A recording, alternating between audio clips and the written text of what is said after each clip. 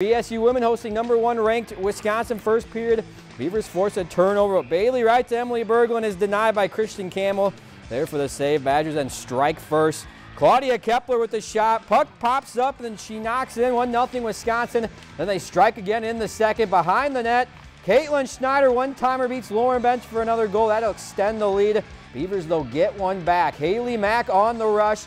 Finds Abby Haleska who finishes for the goal. This one goes to overtime, tied at three, but the Badgers would score to get the 4-3 win.